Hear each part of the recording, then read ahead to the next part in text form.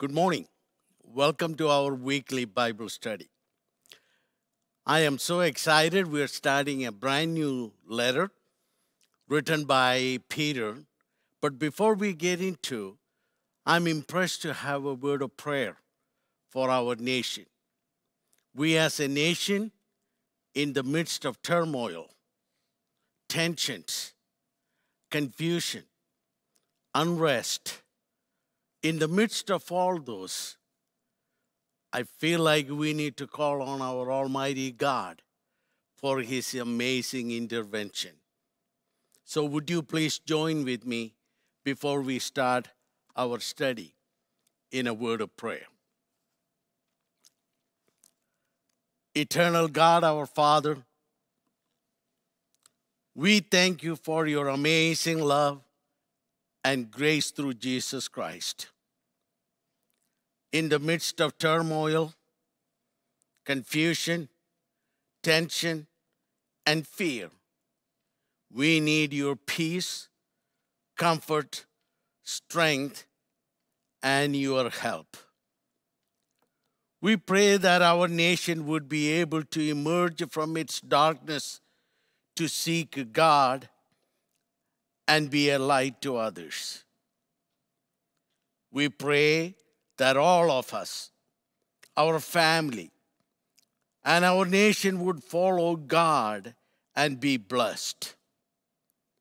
We pray for all in authority and all of our leaders in government so that we can live peaceful and quiet lives marked by dignity and godliness.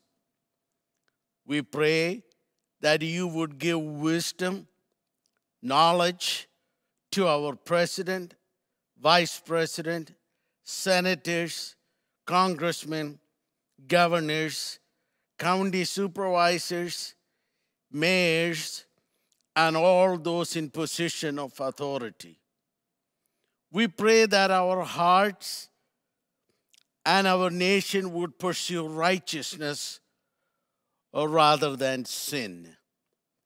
We pray that our words and actions would be loving toward others and line up with the God's word. We pray that we would be a nation who lives up to its name of United States of America and be united in love, mind, and thought. Deliver us from all evil things. O Father, cause us to sense nearness of your very presence in the midst of our chaos. This I pray in the most powerful name of our Lord and Savior, Jesus Christ. Amen. Let's continue to hold our nation in prayers. Now, as I watched last night's uh, riots and fires and all those things going on in the midst of a major cities in the United States, I didn't realize the parallel when Peter wrote this letter to the churches in the Asia Minor. There are similar things that happened, and I, I'm not drawing a comparison. However, the tension that was built up during that time, as well as where we are sensing right now, it has a lot of things in common. So I feel like it's an appropriate study for us to look in the Word of God for hope and comfort. So, with that, I want to dedicate this letter of First Peter for our study. So, I like to read the first two verses Today it will be an introduction to this particular letter. So please open your Bible and starts with the verse 1. 1 Peter chapter 1, verses 1 and 2. Peter, an apostle of Jesus Christ, to God's elect, exiles scattered throughout the provinces of Pontus, Galatia, Cappadocia, Asia, and Bithynia, who have been chosen according to the foreknowledge of God the Father, through the sanctifying work of the Spirit, to be obedient to Jesus Christ and sprinkled with his blood. Grace and peace be yours in abundance. Now, fascinating two verses. From the very outset, Peter jumps in with a major theological discussion about election and choice. So, these two verses, I believe at least it takes two weeks for us to complete it. So, be patient with me as we introduce this particular letter. As you noticed, the first word, Peter, an apostle of Jesus Christ, is the author of this particular letter. Peter. Let me give you the backdrop of this letter. On July 1964 AD, this day was a devastating day in the history of Rome. That day, Nero, the emperor, set the city of Rome on fire. Rome was a city of narrow streets. It was a dense city of population. On both sides of the street, there were wooden high apartments where people lived. At once the fire hit Rome, it consumed the entire place. The Roman people believed that their emperor, Nero, who was the maniac who set the city on fire. They also believed because he had an amazing lust for building brand new buildings. His great challenge of life was to build new structures. In order to build, he had to destroy the old ones people were totally devastated. The culture of that city went down. The temple of Jupiter, the temple of Luna, the shrine of Vesta, the altar, and all the religious elements of their life were completely destroyed. The very household of gods were burned up. It was not just economic loss, but the entire social, cultural losses as well. But it was some kind of a religious chaos and confusion, and people were homeless. They had not only lost their homes, but they had lost one another in death. Their resentment was bitter and it was deep. Nero realized he had to redirect their hostility. He decided to blame Christians are the one who started the fire. Those days, Christians were hated. hated. So he knew Christians would not support the emperor worship. Christians were always talking about a, a future day when the whole world will dissolve in flames. And it was so fitting to blame Christians for the fire. As a result of this accusation, under Nero, persecution against Christians began.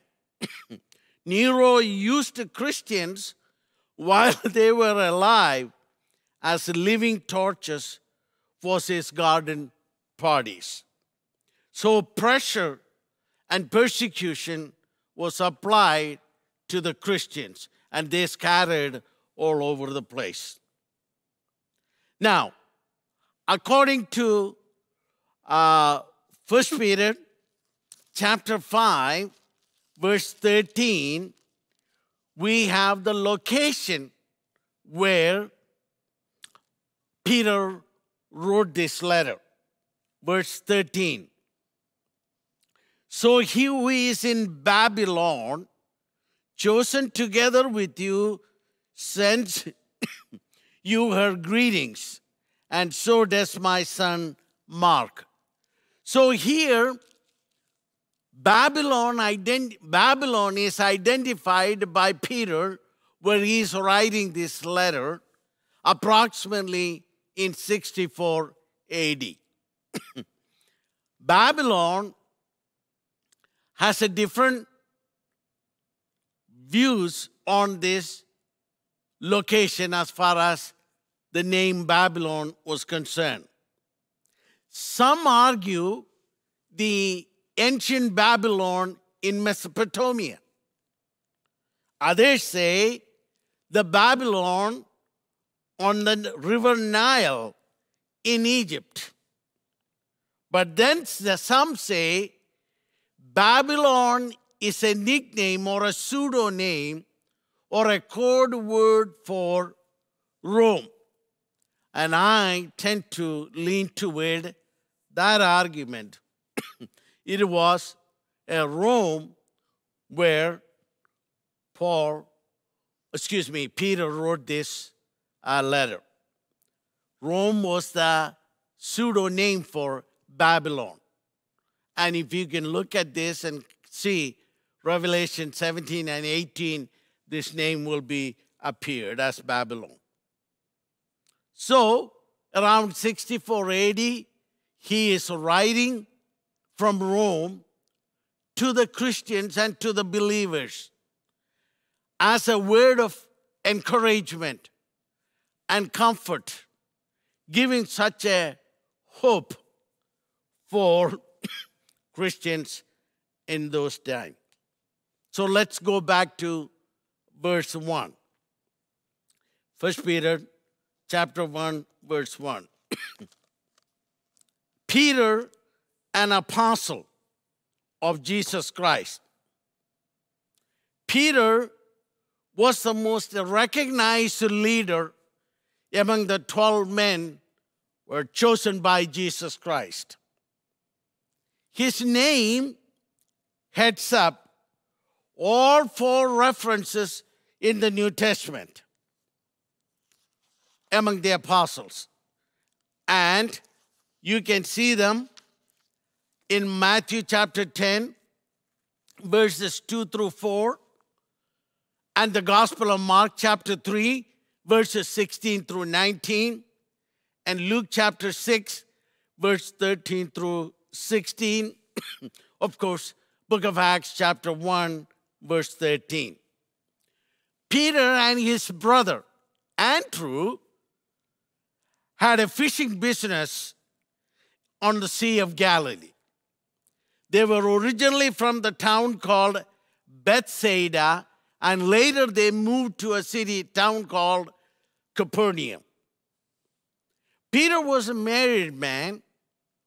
According to 1 Corinthians 9th chapter, his wife traveled with him during the missionary journey.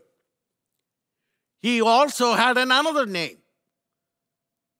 That was his secular name, Simon. Peter, Peter was one of those inner circle of Jesus Christ, along with James and John. He was with Jesus on the Mount of Transfiguration. Peter denied Jesus three times. Three days later, Jesus comes and asking Peter, Do you love me?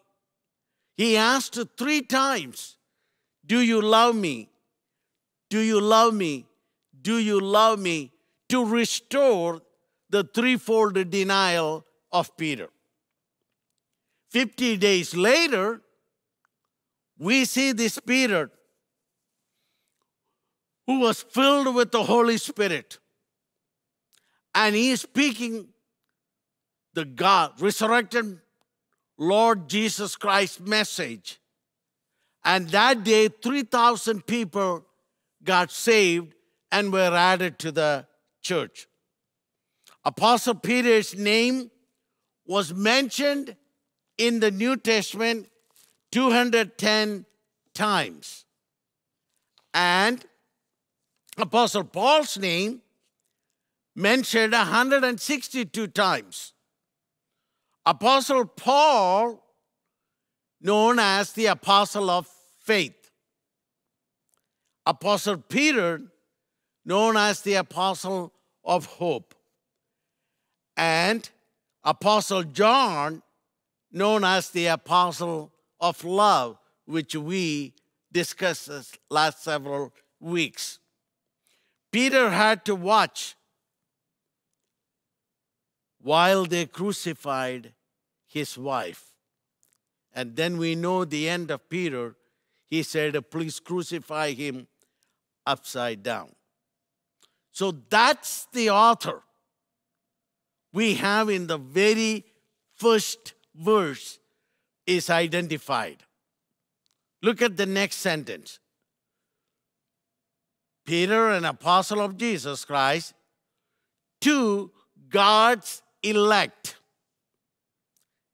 exiles scattered throughout the provinces of Pontus, Galatia, Cappadocia, Asia, and Bithynia, who have been chosen according to the foreknowledge of God the Father through the sanctifying work of the Spirit to be obedient to Jesus Christ and sprinkled with his blood.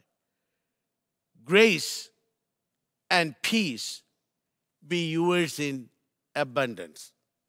Now, when you look at that portion of this scripture, Peter identifies his readers as God's elect or God's chosen. He identifies them in two ways. First, he identifies them in relation to their place here on the earth. Secondly, he identifies them in relation to their place in heaven. Let me show you what I mean by that.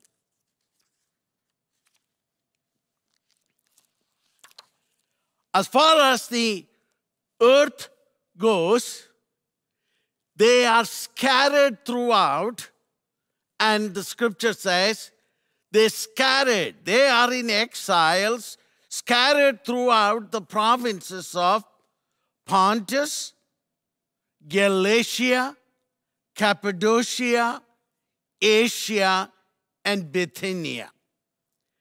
These are the provinces in our modern day country called Turkey.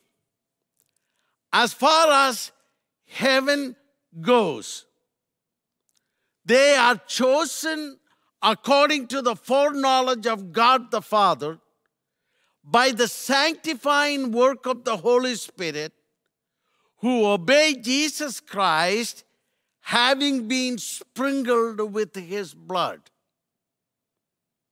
Began to affect Christians who were there, whom Peter calls aliens and strangers. So, in earthly realm, these Christians were scattered into Pontus, Galatia, Cappadocia, Asia, and Bethany are the locations where our churches. So he is referring to these believers, these Christians who are scattered. They are strangers. They are in exile, just like Israelites were in exile in Babylon. He is making reference to you are a stranger, you are in exile in these earthly provinces, such as Pontus, Galatia, Cappadocia, Asia, and Bithynia. And they were foreigners in a hostile culture. Christians are aliens and strangers. We're foreigners in a, in a foreigners and strangers in this earth. We don't belong here. So, church is a group of people who are strangers scattered throughout the world, away from their heavenly home. And Peter is saying, we are scattered or dispersed throughout the Roman provinces. And because of the Christian persecution, Peter is warning them to know they are chosen by God. Deuteronomy 7, verse 6. God told Israelites, For you are a chosen people to the Lord your God. The Lord your God has chosen to be people for his own possession. Out of all the people are on the face of the earth, God chose Israel. God chose Abraham. God chose Isaac. He chose Jacob, Moses, Joshua, David, Daniel. God chose 12 men as his own disciples for Christ. God chose you and God chose me. The church of Jesus Christ is chosen by God. We are his possession. They are holy nation. Now, the selection and the election of God for his own people. This can be best illustrated the parable Jesus said about a, a landowner of a vineyard went to the marketplace to hire. Six o'clock in the morning. And the work days in those time was 6 a.m to 6 p.m 12 hours. So he hired some people who were there and said i need workers. So he hired them for a day's wage, denarius. then after three hours later, nine o'clock, he went out to the market again. He needed more workers. He saw some people. So he hired them and agreed the wages, and they came to work. Then at 12 o'clock, he went to hire some more and 3 o'clock, and then 5 o'clock to 6 p.m.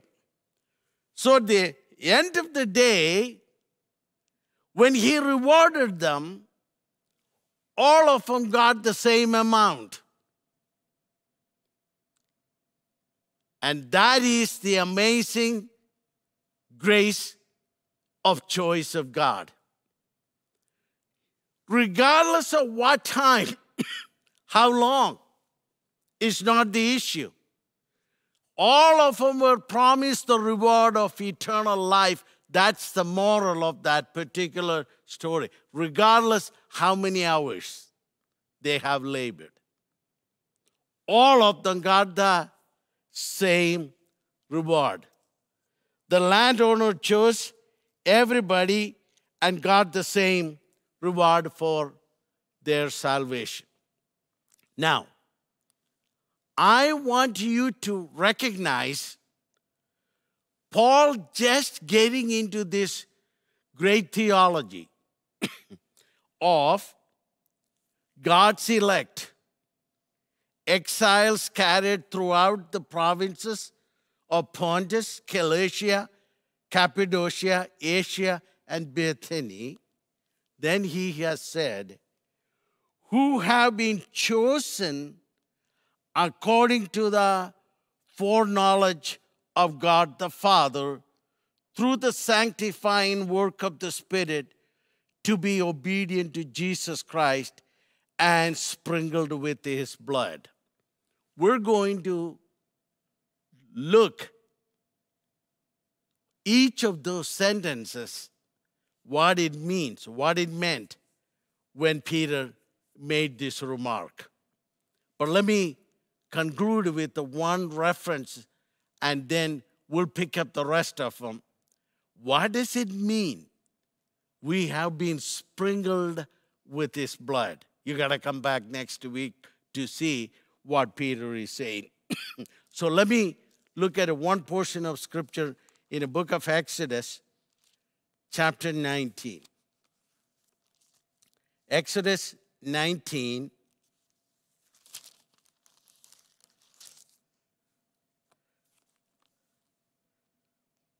verse 5. Listen to these words. Now, if you obey me fully and keep my covenant, then out of all nations you will be a treasured possession. All through the whole earth is mine. You will be for me a kingdom of priests and a holy nation. These are the words you are to speak to Israelites. Now, Paul, uh, Peter takes these words of Moses to the nation of Israel. Now he interprets that same words to the church in 1 Peter chapter 2 verse number 9. Listen to these words. You are a chosen people, a royal priesthood, a holy nation, God's special possession, that you may declare the praises of Him who called you out of darkness into His wonderful light once you were not a people, but now you are the people of God. Once you had not received mercy, but you but now you have received mercy. I want you to look verse number 2 in First Peter chapter 1. It starts off with this. Who have been chosen?